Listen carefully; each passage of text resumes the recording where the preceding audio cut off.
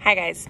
All right, so you are going to start a mini project called I Need a Larger Recipe.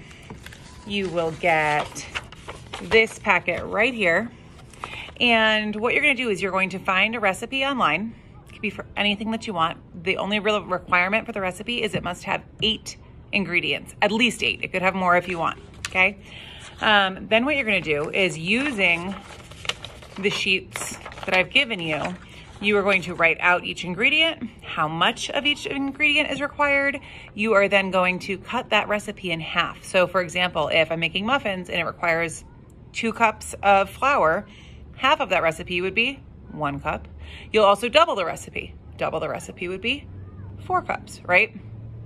You're gonna do that for every ingredient. You're then on the back page going to scale, you're gonna find each ingredient's unit rate. So how much of each ingredient you would need for only one serving. Okay, your recipe will tell you how many servings it makes.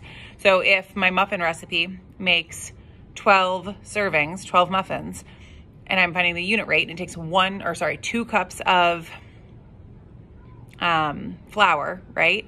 Two divided by 12 is equivalent to one sixth, so it would be one sixth of a cup of flour would be my unit rate for flour, right? So I'd find the unit rate for each ingredient, and then you're gonna scale your recipe way up to feed all 96 sixth graders or seventh graders. If you're in seventh grade, you're gonna just do the same, the same sheet.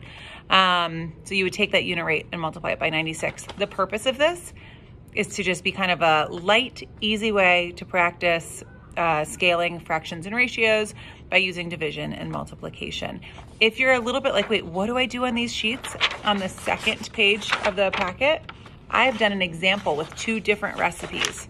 So you can take a look at what I did and follow that. And I will see you all when I'm back on either, well, I'll be back on Friday. So either I'll see you Friday or I'll see you Monday. Okay, bye.